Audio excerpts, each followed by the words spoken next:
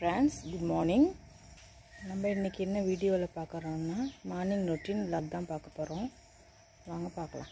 எங்கள் ஊரில் நேற்று நைட்லேருந்து மழைங்க.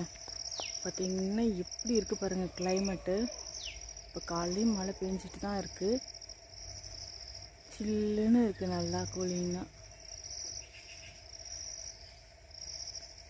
அது உங்கள்கிட்ட காமிக்கலான்னு தான் போட்டு நான் இப்போ கிச்சனில் வேலை செஞ்சிட்ருக்கேன் ரக்ஷிதா இங்கே உட்காந்து படிச்சிட்ருக்கா. பாருங்கள் ரக்ஷிதா.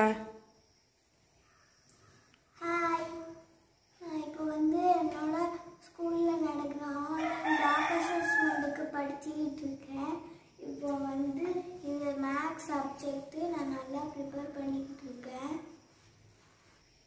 ரக்ஷிதா இப்போ படிச்சிட்ருக்கட்டும். நம்ம இப்போ சப்பாத்தி தக்காளி தொக்கும் செஞ்சிடலாம் வாங்க பார்க்கலாம் கோதுமை மாவு எடுத்தாச்சு. இதில் கொஞ்சோண்டு உப்பு போட்டு மிக்ஸ் பண்ணிக்கலாம். மிக்ஸ் பண்ணிவிட்டு இப்போ இந்த ம- கோதுமை மாவில் வந்து கொஞ்சோண்டு பால் இல்லாட்டி தயிர் போட்டு சேர்த்து மிக்ஸ் பண்ணிங்கன்னா பிணைஞ்சு வச்சோம்னா நல்ல ரொம்ப நேரத்துக்கு சாஃப்டாகவும் இருக்கும். சப்பாத்தியும் ரொம்ப சாஃப்டாக கிடைக்கும் உங்களுக்கு.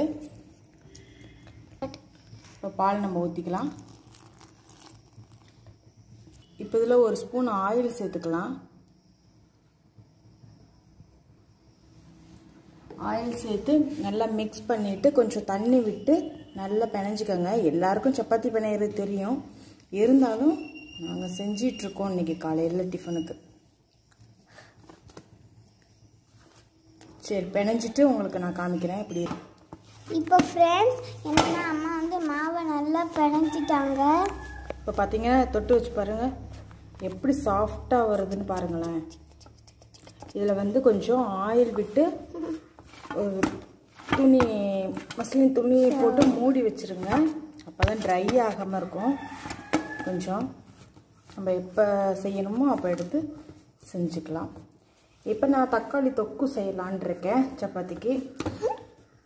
வாங்க செய்கிறத நான் நம்ம தக்காளி தொக்கு செய்ய போகிறோம் இப்போ தக்காளி தொக்குக்கு ரெண்டு பெரிய வெங்காயம் அஞ்சு தக்காளி எடுத்துக்கோங்க. ஒரு முழு பூண்டு எடுத்துக்கிட்டு அதை நைஸாக கட் பண்ணிக்கோங்க. தக்காளியை வந்து பொடிசாக கட் பண்ணுங்க. சாப்பர் இருந்தால் சாப்பரில் கட் பண்ணுங்க. இல்லைன்னா ஆஹ் கத்தியாலே எப்படி கட் பண்ணிக்கோங்க. நைஸாக சின்ன வெங்காயத்தையும் அரைச்சி வச்சுக்கணும். இப்போ இதுக்கு வந்து மஞ்சத்தூள் சோம்புத்தூள் மிளகாய்த்தூள் தனி காஷ்மீர் மிளகாய்த்தூள் கருவேப்பிலை. இதுதான் தேவையான பொருட்கள்.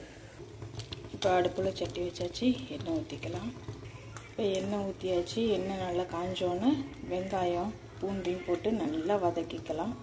பாருங்கள் இப்போ வெங்காயமும் பூண்டும் போட்டு வதக்கிட்டுருக்கோம்.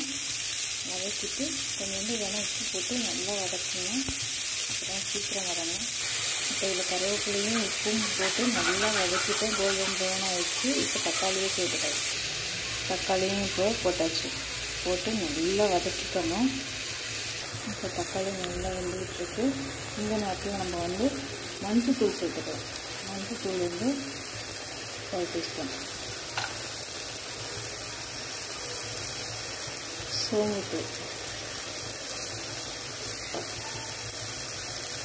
ஒரு ஸ்பூன் காரத்துக்கு ஏற்ற மாதிரி நீங்கள் வந்து மிளகாத்தூள் சேர்த்துக்கோங்க. இப்போ கலருக்காக கொஞ்சம் காஷ்மீரி தூள் போட்டுக்கலாம். இப்போ இதில் கொஞ்சோண்டு தண்ணி சேர்த்துக்கணும். தண்ணி சேர்த்து நல்லா வேக விடுங்க. வெந்ததுக்கப்புறம் காமிக்கிறேன். பாருங்கள் தக்காளி தொக்கு ரெடி ஆயிடுச்சு. சப்பாத்தி எப்படி சாஃப்டாக இருக்குன்னு நான் போட்டு காமிக்கிறேன். ரக்ஷன் எந்திரிச்சு வந்துட்டா ரக்ஷனை போய் பார்ப்போம். ரக்ஷன் ஹாய் சொல்லு. ரக்ஷன். இப்போ பார்த்தீங்கன்னா நம்மளோட சப்பாத்தி ரெடி இப்போ இதை உங்களுக்கு லேயரை எடுத்து காமிக்கிறேன் பாருங்கள் இங்க பாருங்கள் எப்படி சாஃப்டாக வந்திருக்கு அந்த பால் ஊற்றி பிணைஞ்சதுனால. இந்த மாதிரி நீங்கள் செஞ்சு பாருங்கள் செஞ்சு பார்த்தீங்கன்னா ரொம்ப நேரம் சாஃப்ட்னஸ் இருக்கும்.